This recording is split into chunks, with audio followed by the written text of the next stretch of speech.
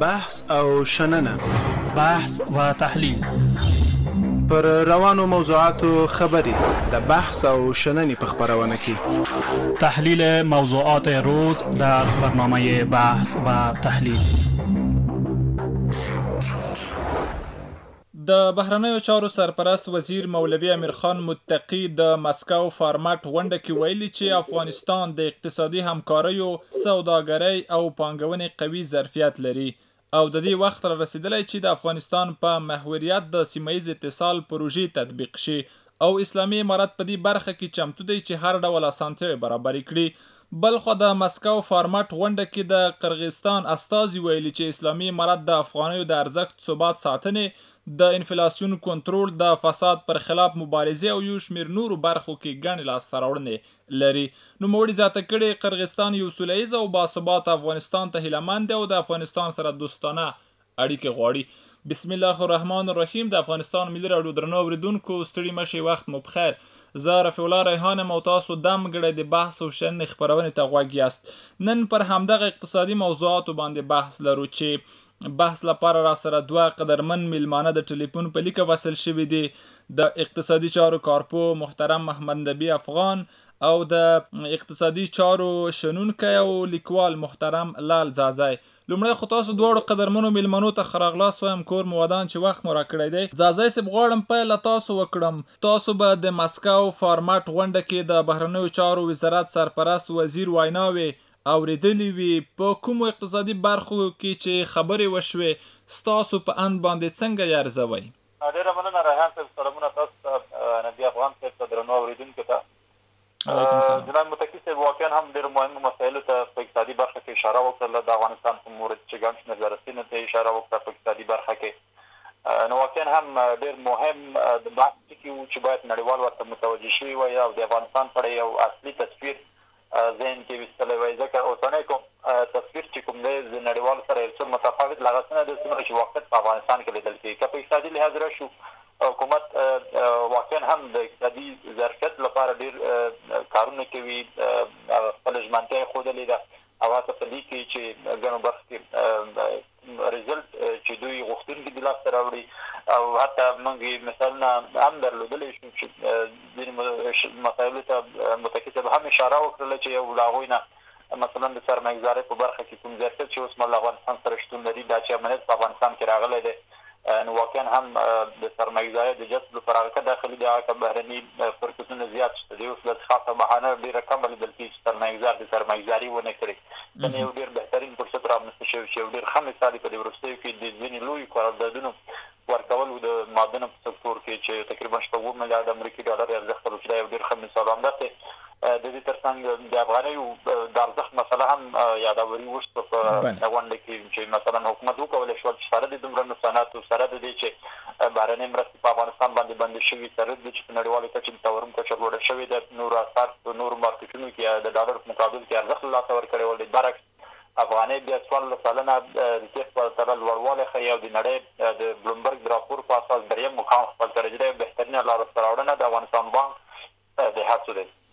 بله تر ټولو مهمه مسله په صادراتي سکتور کې موږ یو ډېر بهترینه لاسته راوړنه درلوده، چې تېر کال زموږ صادرات دوه میلیارده امریکایي ډالرو ته ورسېدل، چې په تېر کې هېڅ موږ په دغه کچه صادرات نه وو درلودلي، چې دا یو ډېر بهترین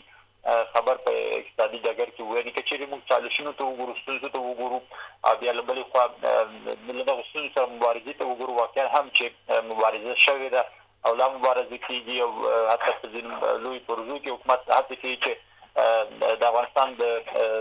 هغه زیربنایي اقتصاد جوړولو لپاره کار وکړي یو مثلا د سرمایه‌ګرۍ په اړه کې هڅې دي دوه مثلاً زراعت سکتور چې د افغانستان لپاره ډېر مهم دی، د یو شمېر مهمو پروژو تر لاس لاندې نیول دي چې تر ټولو ښه مثال یې د بلخ د کلدار ولسوالۍ نه د کانال ویستل دي چې د زراعت په برخه کې یو ډېر ښه انقلاب رامنځته کول چې ګرچې دا یو څو منځمهاله پروژه ده، په لنډ مهال کې به دومره خاص نتایج نه وي ځکه تازه پیل شوې ده، لومړی فاز ته خلاصېږي. نو دولت په هره کچه کوشش کوي چې وضعیت په زربنایي توګه جوړ کړي نو د مصنوعي اقتصاد رغولو په هڅه کې ولې یو څه ستونزې شته دولت په سطح هم ستونزې شته د نړیوالو په سطح هم ستونزې شته که چېرې هغه ستونزې حل شي وضعیت لا ښه کېږي مثلا دولت په سطح بعضې وخت داسې فرمانونه صادرېږي چې د بهرنیو مرستو د کموالي سبب ګرځي د نړیوالو سره د تعامل د کموالي سبب ګرځي د ولس د ناخوښۍ سبب ګرځي چې هغه په هېڅ صورت نه افغانستان خلکو ته د منلو وړ دی نه بهرنیانو ته او بل یو انعطاف پذیر سیاست نه شتون یو ډیره مهمه مسله ده چې باید د وضعیت مطابق موږ سیاست تا کړی وای نه کلک دریزي سیاست چې بعضی وخت نتایج منفي وي او بعضی ستونزې نړیوالو هم موږ ته ایجاد کړي مثلا اقتصادي بندیزونه منځ کړي نه یوازې دا چې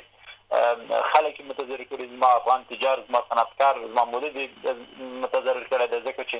له دغو بندیزونو سیاسي فعالین یا سیاسي چارواکي هیڅ وخت نه دي اغیزمن شوي، یوازینی د ضرر ټکی چې ویني هغه د افغانستان خلک او د افغانستان تجار او سوداګر او صنعتکار دي، نو که چیرې امریکا په واقعاً هم غوښتل چې د افغانستان سره یا مرسته وکړي د افغانستان د خلکو مشکلاتو ته رسیدګي وکړي ولې دغسې بندیزونه وضع کوي چې متضرري افغان ولس یې هیڅ په چارواکو باندې چې تاثیر نه لري نو دا د دې ښکارندوی کوي چې د دغو بندیزونو تر شا ځینې سیاسي موخې دي چې د دوی فارن پالیسي کې ځای په ځای شوي دي ولې بیا هم په ټوله کې د افغانستان تعامل اوس مهال له نړیوالو سره خلاص دی په اصطلاح غېږه ورته خلاص ده هر هېواد کولی شي له افغانستان سره تعامل وکړي سیاست وکړي اړیکې وساتي اقتصادي روابط وساتي اقتصادي راکړې ورکړې وکړي په اقتصادي دهلیزونو کې ورسره یوځای شي او همدارنګه په ځینو سیمه ییزو پروژو کې ورسره همکاري وکړي، له موږ خوا کوم ظرفیت چې شتون لري د دې امادګي شته ده چې حکومت ورسره هر اړخیز انعطاف پذیري وښيي په دغه برخه کې. نو په ټوله کې وضعیت که چېرې په ټولیز ډول ارزیابي کړو، هغه ستونزې چې موږ ورسره مخ شوي یو، هغو ستونزو ته په کتو حکومت تر ډېره بریده هڅه کړې چې ستونزې کابو کړي او وضعیت نسبتاً مهار کنټرول شوی دی. بله ډیره مننه کور ودان ځاځه صیب تاسو ته بیرته راګرځم په لیکه کې راسره پاتې شئ افغان صیب تاسو ته بیا هم ښه راغلاست غواړم له تاسو وپوښتم لکه څنګه چې د بهرنیو چارو وزارت د خپلو اقتصادي کړنو په تړاو د مسکو فارمټ غونډه کې خبرې وکړې تاسو په دغه وروستیو کې د اسلامي امارت اقتصادي کړنې څنګه ارزوئ؟ مننه سلامونه تاسو ته اوریدونکو ته میلمه ته لال زاوی صاحب ته لکه څنګه چې تاسو ویلې د امارت له راتګ سره امارت تر ډېره حده توجه دې ته کړې ده چې موږ څنګه په اقتصادي ډګر کې وځلېږو او موږ څنګه کولای شو چې د افغانستان اقتصاد په پښو ودروو ځکه مهم بخش اقتصاد ده او که اقتصاد د یو ملک جوړ نه وي هغه نظام نه شي مخته تللی د امارت له راتګ سره دوی هغه خپل هدف ته ورسېدل یعنې دغه کوم عواید چې دوی راټولوي دا د دوی د داخلي بودیجې لپاره کفایت کوي او یعنې لوسه کې کامیابه دي دغه وسو کې چې دغه کومې پروژې دوی ورکړلې د معدنو د پروژو په بدل کې یا دلته بعضې پروژې شروع کړې یا په داخل کې واړه معدنونه شروع کړل د داخلي تجارانو د تقویې لپاره او د ملک د د حکومت د اقتصاد په پښو درېدو لپاره دا له فعلنه پورې ګټور وو او غوره وو یعنې دوی له هغه اولني هدف ته په رسېدو باندې دي، یعنې ورسېدل، کامیابه ول. اما بسېنه نه کوي، ځکه موږ مخکې باید موږ افغانستان په دې څلوېښت کاله کې ډېرې دربدرۍ لیدلې دي. په دې تېرو شلو کلو کې چې دغه کومې پروژې، کوم ډالر، کومې پیسې راغلې، هغه د موږ په میانه اصطلاح هغه خلک وايي، وايي له روسانو نه بلاکونه را پاتې شول، له روسانو نه دا شی را پاتې شو، یعنې هغه بعضې نښې یې پاتې شوې، اما امریکایانو نه یو شی هم را پاتې نه شول، ځکه هغه کوم شیان یې چې جوړ کړي دي، هغه کوم چې له روسانو نه را پاتې ول، کلک سرکونه ول، له کانګریټو نه، د هغه به نیم متر کانګریټ ول چې هغه بلکل د خرابېدو امکان، هغه یې هم واړول، هغه یې هم خراب کړل، دغه اوسني یې چې کوم جوړ کړي دي، دا په ډېر ټيټ معيار باندې جوړ شوي. که تاسې خبرې څو ورځې مخکې اورېدلې، زاخېلوال صاحب يوه خبره وکړه چې موږ به چې کله دوی ته ويل، دوی به د يو برق پروژه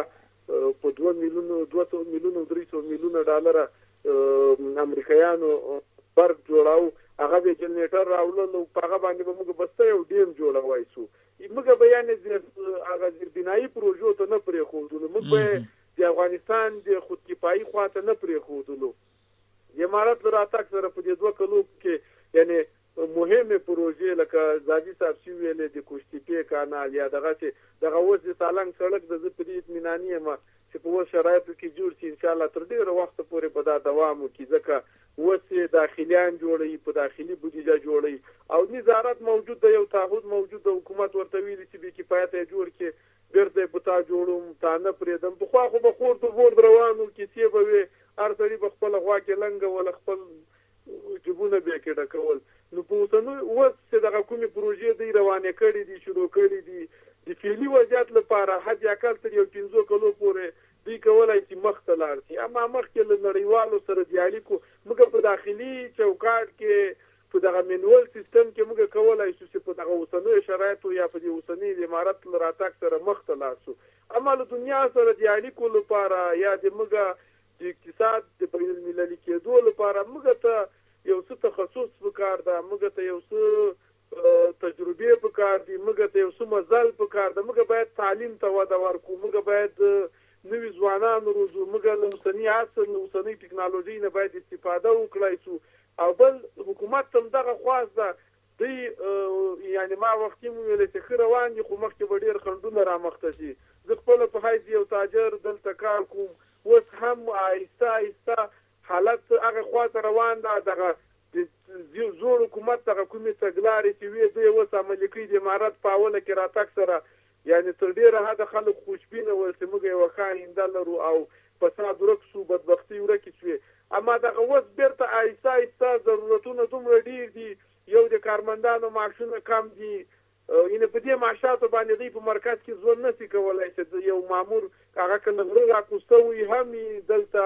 د کور مصارف یې هم کم وي، ځکه پخوا د اتحاد مفته کا اوس که دغه دغه تنخوا باندې نه پوره کیږي ځکه آهسته آهسته چې ته په ښار کې ژوند کوې د روزمره خواهشات زیاتیږي ضرورتونه زیاتیږي نو دغه کومې تګلارې چې د تیر حکومت دي یعنې دغو کې دا فساد زا دي او فساد بیا پیدا کوي فساد بیا ورځ تر بلې روز کوي افغان سه محترم که په لنډو کې راته ووایې مثلا د کارمندانو د معاشاتو خبره شوله یعنې تاسو په دې اند باندې یئ چې د کارمندانو معاشونه جیګ شي؟ په دې اوسني اقتصادي وضعیت کې چې نه هغه بهرنۍ پیسې شته، نه هغه بهرنۍ مرستې شته دي، څنګه به وکولای شي چې هم دومره زیربنایي پروژې پلي کړي، هم د کارمندانو معاشونه په وخت ورکول کیږي، ولې اضافه ورته ورکړل شي؟ دا به ډیره سخته نه وي په اوسنیو شرایطو کې؟ خبره داسې ده که موږ غواړو چې جوړ شو، که موږ غواړو چې موږ خودکفا شو، که موږ غواړو چې فساد د ابد لپاره ختم شي، دا به ته وژغورې، دا کفایت نه کوي. ته له یوې پروژې نه ښه ده چې ته یو وزارت منظم جوړ کړې، یوه پروژه یې دوه کاله وروسته راته جوړه کړه. موږ ډېر غټ یعنې موږ په یو داسې جغرافیایي موقعیت کې قرار لرو چې موږ ډېرې زیربناوې لرو، موږ ډېرې یعنې موږ په زراعت کې په ډېره غټه یعنې غټه سطح باندې موږ کولای شو چې موږ خوږې اوبه لرو، موږ ښې مځکې لرو، موږ دغسې ښه آب و هوا لرو، څلور فصله لرو، موږ ډېر ښه معدنیات لرو، موږ په دې سیمه کې د اسیا په زړه کې کړای لرو، یو ښه ترانزیټي موقعیت لرو. که نه وی لکه زول ده چې نه وی ورسره ملاو نه شي، زول یې که سم ده که کولای شي. ښه خبر دا ده چې د دې ټولو مشکلاتو د حل لپاره او د بیا د فساد ته نه تګ لپاره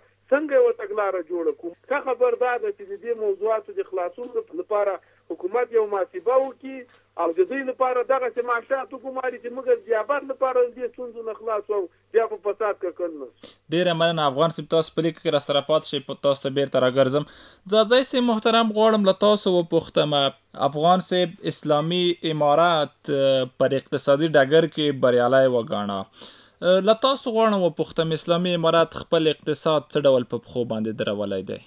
ډېره مننه، که چېرې موږ د اقتصادي شاخصونو موضوع تر څېړنې لاندې ونیسو نو نسبتاً واضح راځي، ځکه یو اقتصادي وضعیت چې کله موږ ارزیابي کوو، اقتصادي وده ټېره وځپل شوه. تقریبا څلور میلیارده کمښت پکې راغی، ډالرو په شاوخوا او شل سلنه شاوخوا کمښت د فیصدۍ په اساس و چې دا یو ښه خبر نه و د اقتصاد لپاره. یعنې د اقتصادي ودې لحاظه موږ ښه تجارب نه درلودل. دوهمه موضوع چې کوم دی مالي سکتور کې د افغانیو ارزښت چې په اقتصادي وضعیت کې ډېر مهم رول لري،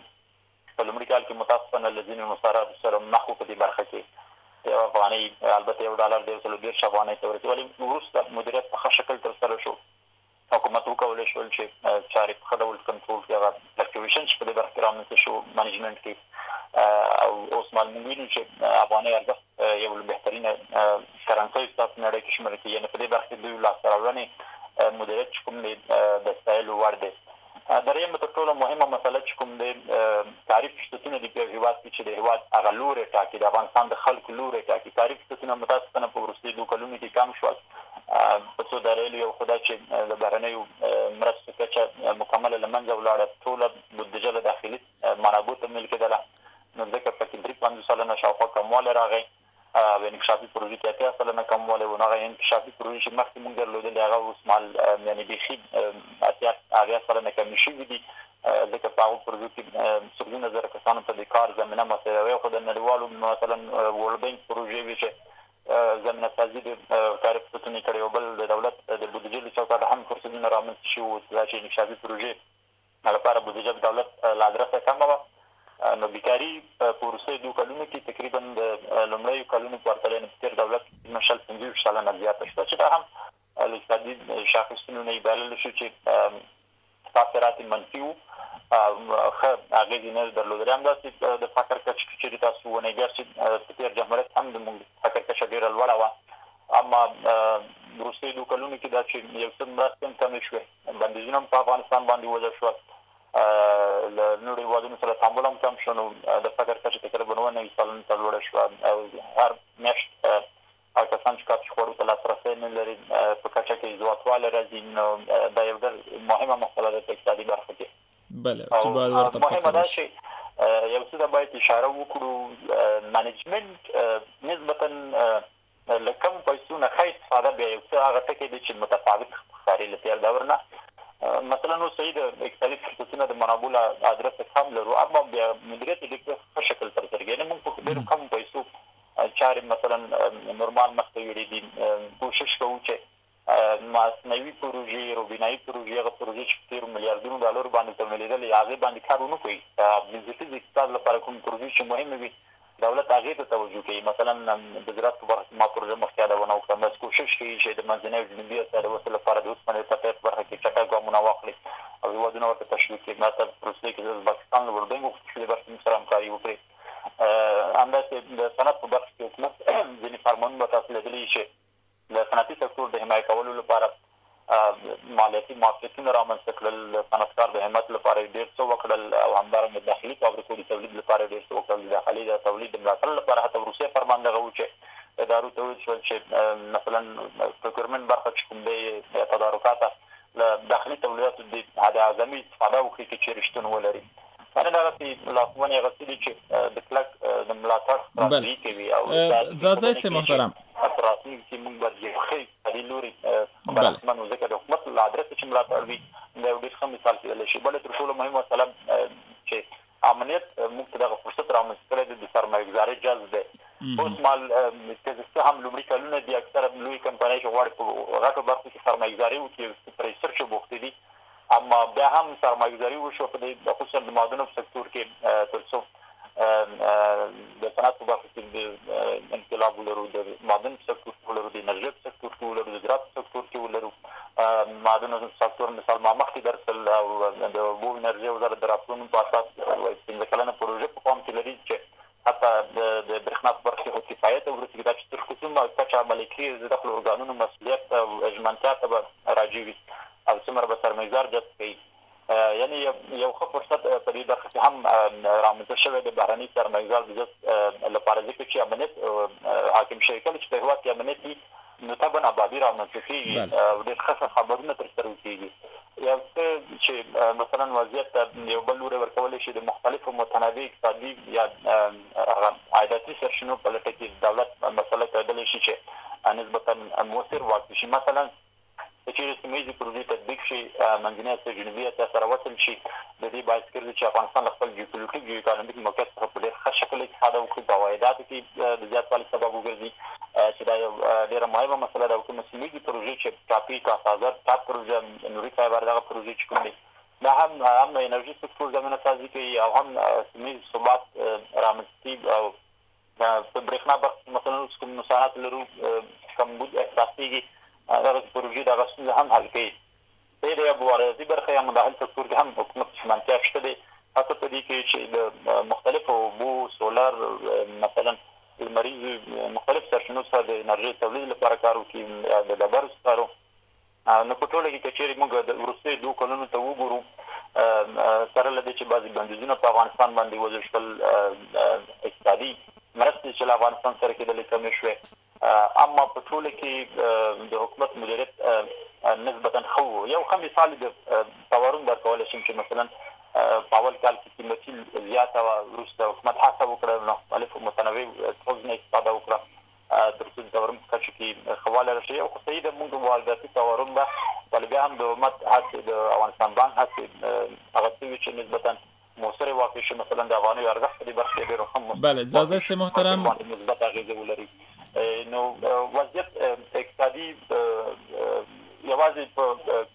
کاري فرصتونو کې یو څه ستونزې شته، بیکاري زیاته ده، نو حکومت هڅه کوي چې د بنسټیز اقتصاد د رغولو لپاره هراړخیزې وسایل، هراړخیز فرصتونه، هراړخیز ظرفیتونه چې کوم وي په کار واچوي تر څو د یو مصنوعي اقتصاد یو بدیل چې بنسټیز اقتصاد دی او اوږدمهاله اقتصادي شکل افغانستان ته ورکوي، بیا نوی حکومت چې راځي اقتصاد به نه ړنګیږي. د دغه سي ويب ساټ د کار کولو لپاره اوس مهال حکومت کار کوي، صحيح ده موږ به په لنډ مهال منځ مهال کې نتايج نه لرو اما زه مطمئن يم چې په راتلونکي کې به د افغانستان اقتصاد يو له بهترينو اقتصادي هيوادونو څخه د سيمې په سطحه وي. ډېره مننه ځاځی صیب بېرته تاسو ته راګرځم افغان صیب په افغانستان کې صادرات هم ښه شوي دي د تېرو کلونو په پرتله سږ کال موږ ښه صادرات لرو، په تېر کال کې هم ښه صادرات درلودل، دغه چاره د یو تجار په حیث باندې تاسو څه ډول ارزیابي کوئ؟ داسې ده چې موږ باید له دې ډېره هڅه وکړو، موږ باید دغسې یو لارې ولرو چې هغه په یو حالت کې هم بنده نه شي او موږ باید خپل تجارات، خپلې لارې سل فیصده سکویر کړو یا سل فیصده یې تضمین کړو، دغه چې د موږ د همسایه هېوادونو دغه وضعیت موږ تر یو دوه درې کلو پورې نورې هم له دې حالته نه شو وتلای، یعنې ډېر بهترۍ ته نه شو تللای، ځکه دلته همسایه ګان دي، همسایه ګان هر ملک د خپل خواهشات لري په اقتصادي ډګر کې، څوک د موږ اوبه غواړي، څوک له موږ نه یعنې په مختلفو بانو باندې خپل د هغه خواهشات غواړي د افغانستان هغه ټول د موږ وې تاسو هغه ټول هر ملک له موږ تاسو له ضعف استفاده کړې ده په خپل غټه باندې موضوعات تمام کړی دي نو اوس هم دی هغه شک په هغه شکل کوشش کوي او هڅه کوي په موږ باندې موږ ته دي چې سل فیصد تضمیني لارې نه راکړي او سل فیصد موږ نه سو کولای چې سیمه سره وصل کو په دغه خپل جغرافیایي موقعیت تصویب کو بل افغان صاحب ستاسو د دغه خبرې په تایید سره که زه وایم چې تازه په واخان کې بدخشان په واخان ولسوالۍ کې له چین سره یوه ګډه پوله جوړیږي یا هم ترانزیټي لاره جوړي دغه څومره همکاري کوي د د صادراتو په برخه کې د وارداتو په برخه کې خصوصا له ملي تجارانو سره دا موږ خپله د خودکفايي خوا ته ځو، له سيند سره د موږ مستقيماً اړيکې ساتل، دا د موږ د آينده لپاره، يعنې تر ډېره حده پورې د موږ دغه اوسنی حالت، د موږ دغه محاصره کېدل يا د دې همسايه ګانو، ځکه چين يو له هغو هېوادونو ده چې مستقيماً تجارتي اړیکې د سره ساتي سیاسي نه کې ګډوي هغه یو له هغو ملکونه ده چې هیچا سره په سیاست کې او په استخباراتي ډګر کې تجارت نه ګډوي نو تر ډیره حده له چین سره دې موږ وسلیدل یا دې واخان لاره جوړول یا دغسې له ایران سره یا دغسې له ازبکستان او نورو هیوادونو سره دې ریل له لارې دې موږ وسلیدل ځکه په دنیا کې تجارت کې کرايه يا مصارف ډير مهم دي چې څنګه راکم شي او کم مصارف يو يو جنس بايد په کمو مصارفو ورسول شي موږ ريل نه لرو موږ د اوبو له لارې نه يو وصل هغه ارزانه تمامېږي ورپسې اول کشتۍ دي بيا ريل ده چې هیرې له لارې موږ وصلېدلای شو او دا موږ ته ارزانه او په په کم وخت کې برابرېدلای شي. دغه لارې وصلېدل یا موږ له څو هېوادونو سره اړیکې، تجارتي اړیکې ساتل دا د موږ د خود کفایي لپاره او د موږ له دې حالته د وتو لپاره خصوصاً چین سره د موږ وصلېدل، د واخان لاره جوړېدل دا د افغان د افغانستان لپاره یو نوی زیری او د افغانستان د تجارت لپاره یو نوښت ده که چېرې موږ ورسره وصل شو خو دا لاره جوړه چې موږ به له ډېر انحصار نه د همسایګانو ووځو. که تاسې وګورئ، دغه اوس خبرې دا روانې دي چې د موږ بعضې تجارتي توکي چې موږ یې د پاکستان له لارې راوړو افغانستان ته، په دې بندیز ولګېږي. دوی وايي چې دا بېرته موږ ته سمګلل کېږي، یا یې موږ ته بېرته په قاچاقي راځي، یا دغسې یعنې همسایګان په موږ باندې یو نوع اشاره، چې ښه خبر دا ده چې که او خصوصاً چې چين سره وصل شو يا دغسې بديلې لارې موږ ولرو نو موږ به وکولای چې په آينده کې تجارت هم روشت کړي ځکه دا اوس هم او دا اوس هم زموږ ميوې دښتې ډېرې خرابې شوې موږ پرته له يو هيواده له پاکستانه پرته موږ ډېر صادرات نورو ملکو ته نه لرو که چېرې دغسې واخان خلاص شي يا موږ دلته په داخل کې حکومت په نورو پروژو باندې فکر وکړي يعنې موږ بايد يو مسيل ټارګېټ نه کړو صادرات چې تازه مېوې له ښه خبر دا ده چې تازه نه کېږي په جای د دې چې خرابېږي تاجر بلکل له پښو لوېږي هغه وچې وچې که د وچې نن سبا خو د وچې مېوې بازار نړۍ ان په هر حالت کې تر ته وایي چې هغه هغه څل چې ان ګټه ډېره مه کوه رزق مه اخله که خبر دا ده چې هغه نه موږ په بدیلو لارو فکر وکړو او موږ خپل تاجر او دا د حکومت وظیفه ده زه یو د تاسو له لارې یو خواست حکومت ته لرم او تاکي تجارت ته لرم چې مه کوئ دغه حالت دغه دې اتاق تجارت بڼه دا له سره باید کټه فکر کې اوسي سوچ کې اوسي دا باید دې ته مجبور کړای شي چې دوی باید خپله وظیفه اجرا کړي وزارت تجارت او اتاق تجارت په ولایتو کې دوی چې دا کوم صادرات لري دغه اوس په افغانستان کې د ینجې د کرلو لپاره ډېر یعنې هر سړی هر سړی لاس په کار ته وي او په نړیوال بازار کې نرخ بیخي ډېر لوړ ده آهسته آهسته د موږ د زیات تولید او د موږ د نه مدیریت د دې نرخ په راکوزیدو ده. موږ صحیح مدیریت نه لرو په ولایتو کې، په مرکز کې، په وزارت کې، په اتاکو کې. د دې وظیفه دا نه ده چې تاسې خالي ورسئ، نمایشات وکړئ، عکسونه واخلئ، پلاني مشر سره کیناستم، پلاني ملک ته لاړم او دا. نه، نه، په عمل کې کار ته ته تا ته یې تا تاجر یې تا بزګر دې تا موږ کوم واته اتاقونه لرو دا څه کار کوي دې څه کړي دي لوسه پورې ایا دوی کومې حرفوي زده کړې دوی په تجارت کې کوم هغه پوینټونه دوی هغه خپلو تجارانو ته بزګرو ته ورښودلي په ولایتو کې هر ولایت کې یو یو اتاق ته د هر د هر سکتور څه کې ایا دا څه شي کوي ایا دې ته کومه تګلاره جوړ ده نو ښه خبر دا ده چې په ګډه تجاران، اتاقونه او وزارت یوه تګلاره جوړه کړي تر څو موږ له دې زیانونو او له دې بدبختیو راووځو. یو کس، دوه کسه باید ګټه ونه شي، دا ګټه په تدریجي شکل که بزګر ده، که مزدور ده، که ترانسپورت ده، که تاجر ده، ټول باید داسې په کټګورۍ شکل باندې ګټه پورته کړي. ځاځی صیب محترم تاسو د اقتصادي چارو شنونکي یا د اقتصادي چارو د کارپو ترڅنګ لیکوال هم یاستئ شاید ډېرې لیکنې مو د قوشتېپې کانال په تړاو باندې کړې وي اوس مهال د قوشتېپې کانال یو هغه موضوع ده چې نه تنها په افغانستان کې بلکې پر نړیواله سطح باندې هم غبرګونونه راپارولي دي ډېری په نړیواله سطح باندې نیوکه او انتقادونه شوي دي چې نه باید د آمو له سیند څخه د قوشتېپې کانال راتېر شي غواړم له تاسو واورم د قوشتېپې کانال د افغانستان لپاره څومره مهم دی، څه د اقتصاد په برخه کې، څه د کرنې په برخه کې او څه د خلکو لپاره؟ بلکل له هیوادونو چې موږ سره په شمال کې موقعیت لري د امو د سیند په برخه کې زموږ سرحد د امو سیند نماینده دی یعنې موږ که که استفاده کوو خپل حق مو دی که دوی استفاده کوي د دویم حق دی یعنې سرحد زموږ د امو سو نیمایې راځي بله. نو په دې اساس کلونه کلونه دوی استفاده وکړه دا نن چې زموږ نوبت رسیدلی دوی په د سیمې په سطحه د بیدعتولۍ خبرې کوي چې مثلا تعدد له منځه وړي دا په هیڅ صورت منطقي نه دی اوس افغانستان وخت رسیدلی چې له خپل حق څخه ګټه وکړي او دا یې حق دی هر وخت کولای شي ورځنی استفاده وکړي راځي اهمیت دی د پشتکې کانال واقعا هم چې ډیر مهم دی مثلا کوم زراعتي محصولات چې نورو هیوادونو موږ واردوو ښه مثال یې اوړه یا غنم درکولی شم دا اوس چې موږ دوه نیم میلیونه تنه شاوخوا کلنې کمبود لرو د دغه کلان په لږېدو سره نه یوازې دغه ګیپ ډکېږي بلکې صادرات به هم نورو هیوادونو ته لرو ان تر دې چې هغه اسیایي د منځنۍ اسیا کوم هیوادونه چې دي تر ډیره پیره به موږ له صادرات کوي البته دوی به واردات کوي موږ ورته صادرات کوي یعنې بیا افغانستان ته یو څه محتاجېږي دې برخه کې ځکه له دغه کانال کومې ځمکې چې لاندې کېږي زیاتې دي زرګونه هکتاره دي او کوم تولیدات چې دلته به تولید کېږي مختلف متنوع به وي ځکه ډېرې لويې دښتې دي، له دې نه بيا کانالونه ويستل کېږي، نو د زراعت په برخه کې موږ دغه کانال خپلواکۍ ته رسوي، استقلاليت ته مو رسوي، بيا به موږ پاکستان ته اړ نه وو چې موږ باندې يا کراشۍ بندې کړي، يا تورخم بند کړي، يا راباندې انوايچ کړي، هېڅ به ضرورت نه وي، يا مثلا نور مشکلات رامنځته تعرفي راته لوړې کړي، يا نظامي مشکل راته ايجاد کړي. ځینې کله چې مونږ اقتصادي خپلواکي تر لاسه کړه هیڅ هیواد نه به مونږ نه اغیزمن کړي دوی منفي سیاستونو نه حتی مونږ ته به متاجې کړي مثلا تاسو له مخکې د واخان اشاره وکړله د دغې لارې جوړیدل پاکستان متوجې کوي چې زمونږ سیاستونه ناسم دي راځي افغانستان سره مثبت تعامل وکړو تر څو واخان جوړ نه کړي او له مونږ نه انتقالات تر سره کړي یعنې بیا هلته یو رقابت رامنځته کیږي نو دلته د زراعت په برخه کې هم کله چې رقابت رامنځته شو نو زموږ محصولات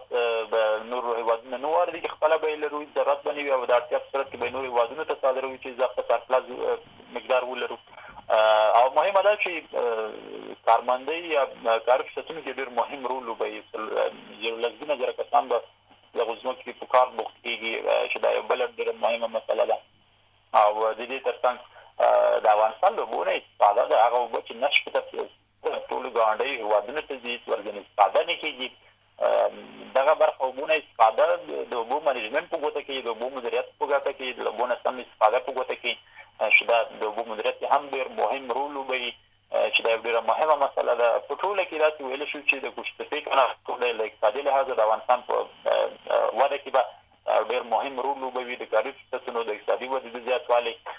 د تولیداتو د زیاتوالي، د صادراتو د زیاتوالي، د اسعارو د خروج پر ځای د دخول د زیاتېدو نه، نو په ټوله کې په اقتصادي برخه کې یو انقلابي پروژه ده او یو فاز یې تکمیل شوی دی، دوه فازونه به انشاالله راتلونکو څو کلونو کې تکمیل شي. همداسې موږ ورته پروژه په ساردې غزني ساردې پروژه هم لرو ان شاء الله دا هغه تکمیل شي دا ولې په هغه باندې کار کوي ورسره په هم مهال به د منځنۍ اسیا او جنوبي اسیا ترمنځ د ریل پټلۍ باندې به کار کوي دغسې پروژې د افغانستان اقتصاد ودانوي د اقتصاد هغه بنسټیزې ریښې چې کوم دي رامنځته کوي نو په ټوله کې د کوشتپې کانال د افغانستان اقتصاد لپاره یو له بهترین تهداب څخه ګڼل کیږي زښته زیاته مننه کور مو ودان قدرمن ځاځی صیب او محترم افغان صیب چې په خپرونه کې مو راسره برخه واخیسته له تاسو دواړو مننه. ډېره مننه. منه روغ جوړ اوسې. د افغانستان ملي راډیو درنو اورېدونکو د نن د بحث او شننې خپرونه همدومره وه چې درته وړاندې شوه تر بیا چې ستاسو په درنه حضور کې راځم په لوی او بخښونکي خدای مو سپارم ښه وخت او ښې چارې.